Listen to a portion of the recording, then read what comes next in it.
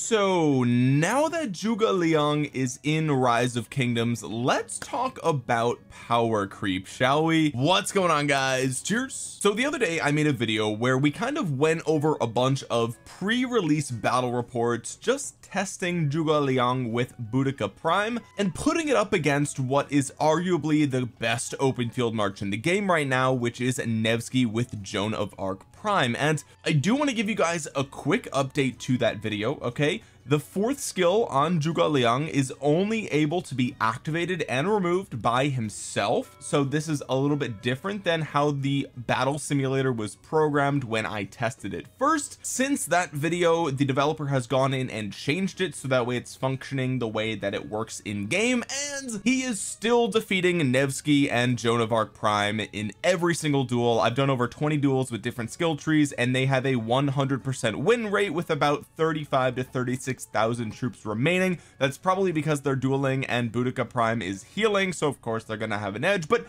of course cavalry is supposed to beat archers. That's the whole like rock paper scissor thing. And yet here we are. We have an archer that can consistently defeat his so-called counter. And I want to talk about power creep okay? Because one of the comments and I think multiple people mentioned this and that was oh my god I just finished uh, uh, working on my Nevsky with Joan and you're telling me that there is a better pairing out there how am I ever going to keep up? Now let me just say that Nevsky Joan is going to be a very meta viable march for the foreseeable future. I think for the next like year and a half at least you can continue to use Nevsky with Joan and you will probably be just fine okay? So don't feel like you wasted your sculptures. You didn't. This is still an insane march in the open field. And just because Boudica with Zhuge Liang is beating it in a 1v1 simulator that doesn't mean really anything. I mean the calves are literally faster in the open field right? Like so there's a lot of there's a lot of nuance that wasn't in that video. So don't worry about that. But I do think that this is an appropriate time to talk about power creep okay? Because one of the things that I mentioned in a video and I'm not going to go into super detail here but if you look at some of the more recent season of conquest commanders if you click on them you'll see that there is a golden shine that goes across their body. This is not present for all legendary commanders okay? Even with Guan Yu for example that little golden shine does not occur. It only occurs with some of the more recent legendary commanders in the game. Obviously Babur is one of them. Trajan is not but Tariq in fact actually is. So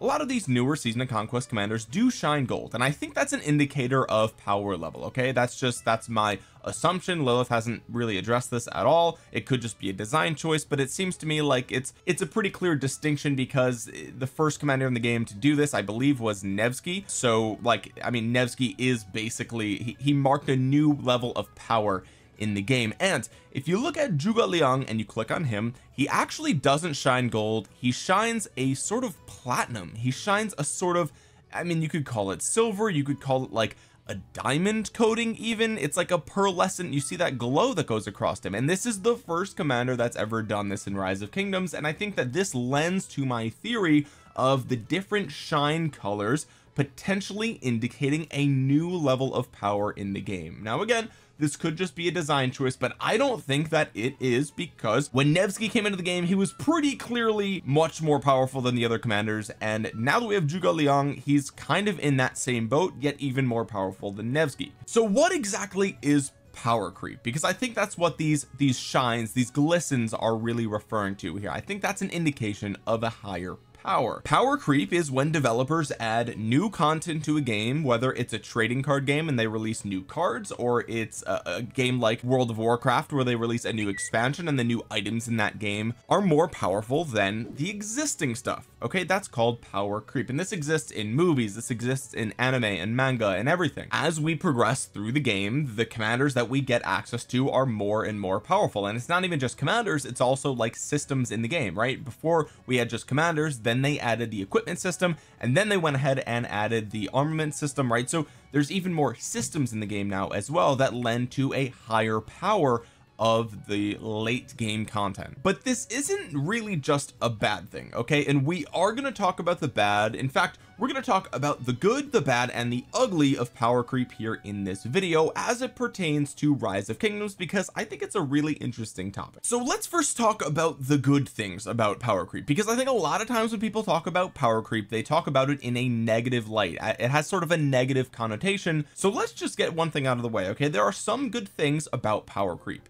One of those is new toys okay? Uh, if developers are going to continue to release new things into the game and keep them fresh and exciting then there has to be something new about them. And you can only go so far when it comes to reworking and retweaking the same mechanics the same skills the same buffs and they have to add something new eventually. And a lot of times they're going to add something that's maybe slightly better than what already exists. And that's exciting and having new toys to play with and new things to build is fun for a game. I can't tell you how excited I was last night when we were playing uh, fighting in Kingsland and I was able to quickly reboot my game because it was reset spin the wheel dump a bunch of heads into Zhuge and start to use them on the battlefield in Kingsland it was really cool and you, as you can see here I didn't expertise him because I do plan on spinning a bunch of the the wheels but I still need over 200 sculptures so I think I'll I'll be fine. I'll be able to get a lot of value out of the wheels anyway. And then I was able to come into Lost Canyon and put him on my defense here with my Yi Seong-Gye and I was able to test this out today and see how he functions in this game mode. And so far he's working he's doing pretty good. He, he's actually doing pretty good here so I'm happy about that. So getting your hands on new and more powerful commanders is just fun. It's fun and exciting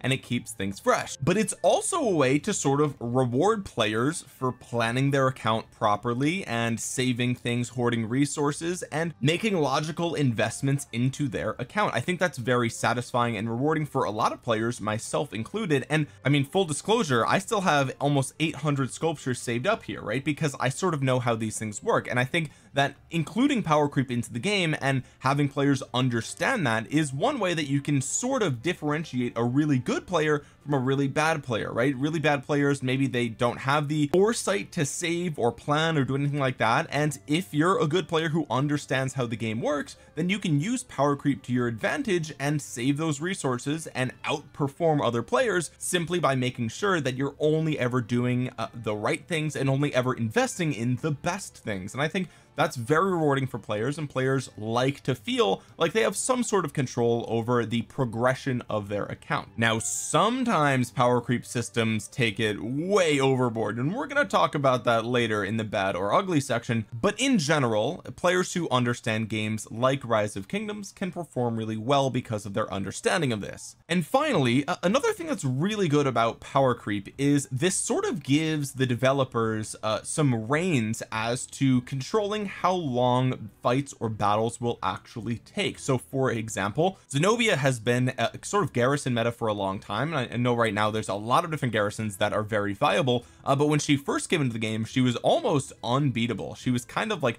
uncrackable if you had her with uh, Yi Sun-sin right? And another great example of that was Attila with Takeda when they first came into the game. This rally fundamentally changed how the game functioned. I mean this game this rally pretty much broke the game when they first put, put it in. And this is this kind of gives the developers a way to decide okay do we want right now do we want the content to focus more on rallies? Do we want a more rally heavy meta? Or do we want a more garrison heavy meta right? And they can look at the data and they can say okay well in kvk rallies are lasting longer than we like. Players are getting bored. They're, they're getting burnt out. They're logging off. They're not playing as much. So maybe we want to speed that up right? And then they can implement a new commander that maybe counters what is really popular at that time right? So for example we saw uh, where is he? Gilgamesh came into the game right? And he's basically a direct counter to Zenobia right? He has his blood craving debuff that makes enemies take damage when they heal instead of actually healing. And this is an example of a brand new mechanic. This this debuff had never existed before Gilgamesh came into the game.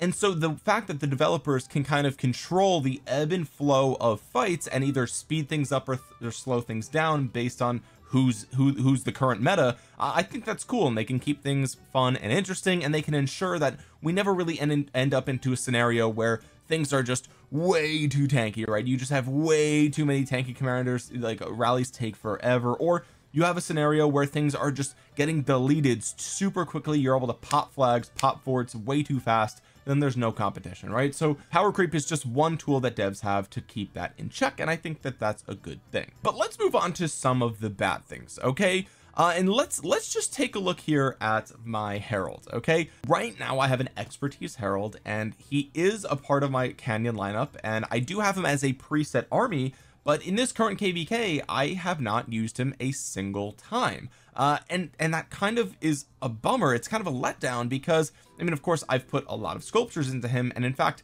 I even have a third infantry set that is sort of just rotting away on this commander because I never fought with three infantry in the open field for the duration for the entirety of this kvk and is Herald really a bad commander? I mean he's not like horrible right? He's not a season one commander. He's not trash and he's certainly he's better than epic commanders but like he's kind of been power crept at this point right? My commander pairs for this kvk were a Guan Yu primary with a Sargon secondary and I did a Scipio primary with a Tariq secondary and that worked really well. I really like that two combination lineup but no matter what I pair with my Herald it doesn't feel like it even comes close to those two and that's really unfortunate. That's even more so the case for people who invested in a commander like Pakal that aren't rally leaders right? If you're a rally leader and you you lead with infantry sure you still have use for Pakal but for open field fighters I mean yeah you, you can get good value out of him for sure but I mean now that we have commanders like Zhuge Liang in the game it's even more easy to pop that infantry march than it ever has been before and suddenly it's not as tanky or as punishing as it once was. And I think making this older content or in this case these older commanders obsolete isn't really a good thing for the game. I mean don't even get me started on commanders that came out in season one or pre kvk one right? I mean these commanders are unusable. They're like even with the developers best efforts to make them decent with relics these commanders are just not usable. You simply cannot use them. There's no there's no reason to. Uh you'll never use them again after you first get them. And I think that that feels bad. It's essentially like punishing the players for investing so heavily into what they thought was good or, or new content at the time uh, and then you enter into season three or beyond of kvk and suddenly your edward is never going to be seen again. And I think once players realize this one of the other bad things about it is that uh, they kind of feel like they don't want to participate in some of the current content because they're worried that if they invest a bunch of their sculptures into something that's new what if it gets obsolete with the next commander? What if it gets obsolete with the next release right? This is a risk that I've taken by investing in Zhuge Liang.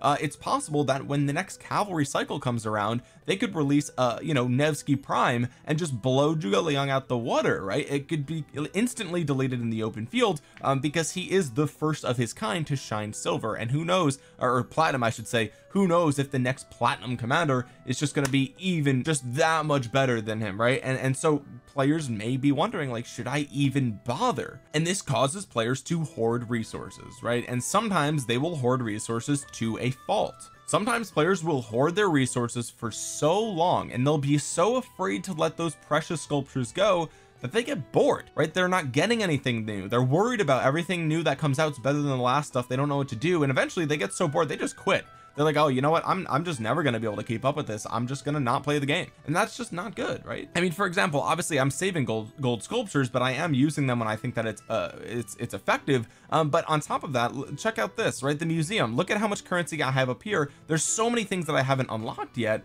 uh, and the reason for this is because I am worried that if I invest in the Saladin relic for example I'm going to spend precious currency that I'm not going to be able to easily get back and later down the line what happens when they implement a Guan Yu relic or uh, you know a Ramses relic and all of a sudden uh, you need that commander uh, or that museum buff to be meta right? It, you don't know how good the future relics could be so I'm just saving. On top of that I've already begun saving some gold keys for the upcoming civilization. We know that Greece is coming into the game and with that is probably going to come an epic commander and a legendary commander. In fact they've already said that that's the case and who knows? I mean it's a gold key commander so it's probably not going to be very good but Thutmose was interesting. I mean he wasn't garbage. He's like he's okay. We just have better options. But what if this new gold key commander is actually good right? What if this is going to be the first good gold key commander as a way for Lilith to give new players a way to sort of catch up to season of conquest? What I'm trying to say is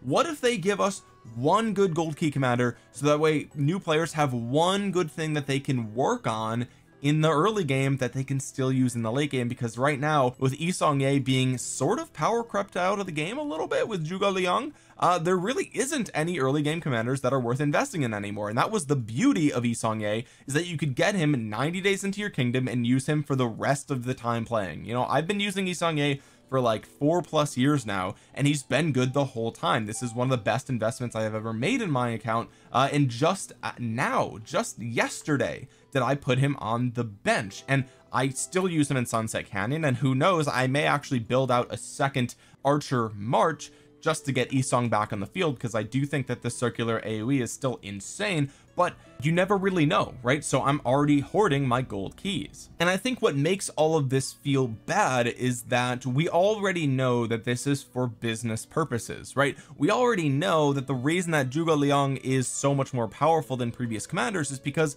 they want you to spin the wheel of fortune. And in order to do this you have to spend gems. In order to get enough gems to max spin the wheel typically you have to buy them unless you've been hoarding them forever okay? Uh, and so we know that like power creep is an incentive for players to spend money. That's why the zenith of power skins are some of the best city themes in the entire game because that is an event that causes players to spend four or five figures on this game in the span of just a couple of days. And that is an insane generator of income for Lilith. So it makes sense that they would continue to add newer and better city skins. I mean back in the day uh, the Zenith of Power skins were a, a solid 10 percent and now we see things like the Supreme Warrior where they give you a solid 15 percent right? And so there's even power creep within the power creep right? It eventually it starts to get out of hand but one thing is for certain it's that these are business decisions. I mean why would uh, I you know go all in on a Zenith of Power? If I already have a Zenith of Power skin that is relatively good. I mean I still have the Atlantis skin. I love this skin. It's one of the best skins I've ever gotten my hands on so right now I don't really have a reason to to you know go for a Zenith but what if they release a city skin that gives me 20 percent cavalry defense? Like all of a sudden it's like oh my god that's so much better. I might have to go for it and then I'll have to spend money. And I don't think players really like systems like this that kind of force them almost in a way to spend money so that way they can keep up with the meta. If you don't keep up eventually you're just bad and then your account sucks and then you stop playing. And this brings me to the ugly. Uh, and the ugly is that this isn't really sustainable in the long term. I mean how many of you are familiar with Yu-Gi-Oh right? When Yu-Gi-Oh first came out in the early 2000s it got really popular and arguably one of the best cards in the game was Blue Eyes White Dragon. And what did it do well it didn't do nothing. It just had a big old number in the bottom corner which means that it was better than some of the other cards that you could have in your deck right? It just bigger number equals better card. Why would I have 2850 attack if I could have 3000 attack? They're both dragons and they both got eight stars. I'm just gonna use the big boy. I'm gonna use the boy with the bigger the bigger damage. But thanks to power creep okay now we got cards like this that have a black border and he's got the same stats as our good old blue eyes white dragon here okay? But you can get him on the field in a special way and you got to have like a PhD in, in, the English language to read this little novella down here because he's got some sort of uh some sort of special effect okay? And guess what? Yu-Gi-Oh! right now is not as popular as it was back in 2002 2003 okay? If you just look at sales figures alone Yu-Gi-Oh! used to be popping off and these days it's like impossible to even start playing because there's just it's unsustainable. They're just writing paragraph after paragraph for card effect. It's like I'm not gonna read all that bro. And it's not just with characters alone. There's also something called system bloat. I actually don't know if anyone else uses that term. I just made it up. But I mentioned this before okay? But in when when rise of kingdoms first came out there was no equipment system okay? The equipment system did not exist. And of course the armament and formation system did not exist either. Crystal technology did not exist and also the museum did not exist. These are all new systems that have been added into the game and how many systems is too many systems? How many currencies are too many? How many random drops are just uh, it's just too many gambling mechanics? This is a massive barrier to entry for new and returning players. I mean if you just started rise of kingdoms today or if you haven't played in a year you're going to start playing and you know five minutes on YouTube and you're going to realize okay who are all these commanders that I don't even see in my game? These are apparently the best commanders but I don't have access to them. I can't get my hands on them. I don't see them at all. And as you dig a little bit deeper you start to realize oh my god there's so much stuff I have to work on. I have to worry about commanders. I have to worry about equipment iconic systems getting talents on the equipment. And then we have to talk about getting uh, inscriptions armaments all this other stuff it's like okay so all the best stuff isn't even in the game at day one so effectively you have to wait nine months before you can get your hands on some of the new better commanders. So what are you supposed to do? Play the game for nine months and not fight a single time? Not invest in a single commander for nine months or a year? Like no you're not going to do that. Like it's just stupid to expect players to do that. But on the other hand if they invest in something that they know is going to be power crept out of the game they just feel stupid right? They spend $200 on getting their hands on Minamoto only to realize that he's actually not that great and at least not as good as he used to be. So like did you waste your money? If you did you feel dumb about that right? I mean don't even get me started on our boy Barca. I still haven't purchased this dude and I've been playing for five years. And again this feels really bad for players who maybe played for a year or two and then they quit for six months and then they come back. And again there's a new set of commanders. There's a new system that they have to worry about and figure out and understand. There's new currencies involved with the museum system you don't really get. And crystal tech is something that you have to worry about still and you have to buy it every single time you're in kvk like that's expensive and kind of stupid or you have to grind for it. And I think again this is a really big barrier not only for just new players but players who are trying to return to the game they kind of just don't want to. They're like oh my god like this is just it's not even the same game that they remember playing. And all the progress that they made in the past is obsolete. They're sitting there with their Guan Leo like oh wait a minute I this I can't use this anymore this isn't good anymore? Like all the investment all the time and money I spent into getting this commander is not good? Okay well I guess I'll just quit then. And that's not even to touch on the fact that for some of the players who've stuck around the entire time sometimes it can get a little bit boring to have power creep in the game if the developers aren't creative enough with how they do it. So if we look at Zhuge Liang uh, on his third skill this is like kind of similar to Isong Seong-Gye right? I mean he has a 10 percent chance of increasing archer attack for up to 50 percent. Plus there's a little bit of extra stuff here so that's that's kind of cool. But we see like a flat skill damage bonus here. We see that flat skill damage bonus on multiple other commanders here in the game as well right? So if what the developers do like if they're just going to essentially take this same thing and just implement it into another commander but make it better it's like it kind of gets boring right? Because it's like oh it's just the same thing but a bigger number right? It's like it's the the tri-horn dragon to the blue eyes white dragon example that I showed you earlier. Like okay Scipio Prime is basically just a better Alexander the Great. They both share around shields. You know they're infantry commanders. They have a, a decent amount of march speed except Scipio has like a you know an AoE with a health debuff. Like if the developers aren't creative with like new mechanics that add new power creep then it just kind of gets boring what's to say the next cavalry commander that comes into the game isn't just 2800 damage factor with a 20 percent troop defense reduction per stock which stacks up to four times and has 30 percent cavalry attack 30 percent cavalry defense and 30 percent cavalry march speed. I mean like that's power creep in a nutshell and if that comes into the game it's kind of boring but you have to invest in it if you want to keep playing so in conclusion I think power creep isn't necessarily a bad thing. There's a lot of ways that the developers can use it as a tool to balance the game give us new things to work on give us new toys to play with and make the game a little bit more fast-paced more fun add more variety to the commanders. But it's definitely something that I think the developers have to keep in check. I think they're trying to keep it in check by giving season of conquest commanders to those that are in season three of kvk and also they you know for example took Saladin they removed him from Mightiest Governor and put him on the Wheel of Fortune so that way he's a little bit more easy to get your hands on right? So they're doing things like you know maybe adding uh, the commanders a little bit earlier into the daily special offer so that way you know new players can get their hands on some of these commanders a little bit easier right? Um, and so you know I think the devs know this and they know that they have to work on the power creep problem but sometimes it just gets out of hand. And I think you know with the armament system the formation system in general for me like this system is just so bad. Like I I hate I don't even like to update my armaments. I don't even like like when I get new ones I don't even really look at what they do. Like I don't really care because like I have to scroll through all, you gotta you telling me I gotta scroll through all these just to find what's the best horn right? And how do I know if it's like oh well this one's got like half a percent more of this but it's got like two two percent of that and like oh but this one's got an inscription like oh it's so time consuming and I got to do this for four different uh, armaments for five different marches. Like bro no bro. I'm not reading all this bro. I'm not reading it all. It's too much brother.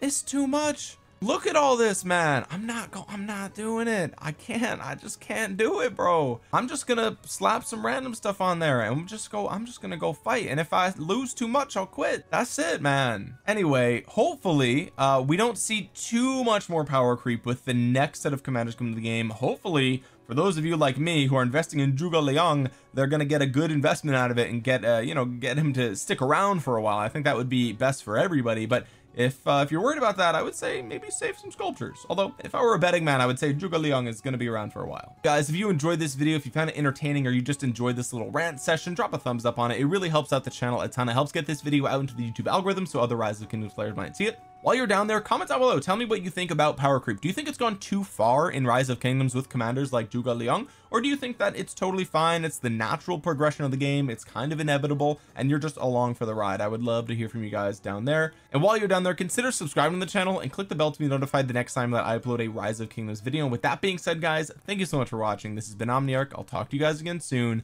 Peace